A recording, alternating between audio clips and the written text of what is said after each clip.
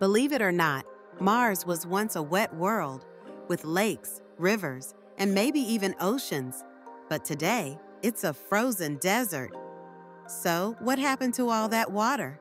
For years, scientists thought Mars's water simply escaped into space, but recent NASA research uncovered a deeper twist. A significant portion of it never left the planet at all. Instead, it got locked into the crust. Using data from Mars rovers, orbiters, and meteorites, scientists found that water chemically bonded with minerals in the Martian soil. Basically, the planet's surface absorbed it, like a sponge, transforming the water into hydrated minerals. Meanwhile, another portion of Mars's water did escape, thanks to a process called atmospheric escape.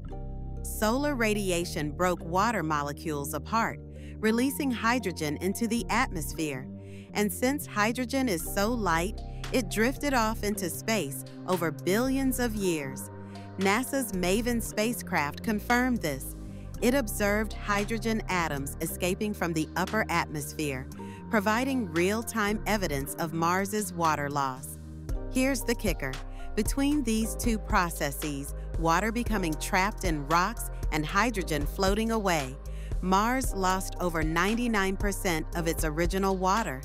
So, Mars didn't just lose its water by evaporation or melting, it was a long, complex transformation, both geological and atmospheric.